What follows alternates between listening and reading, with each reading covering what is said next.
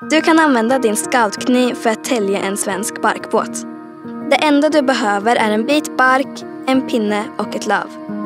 Den bästa barken att använda är tallbark.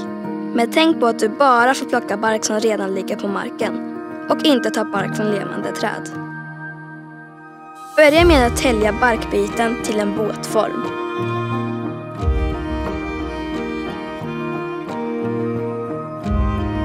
Gör ett hål i mitten av båten. Nu är det bra att ha en skalkniv med spets.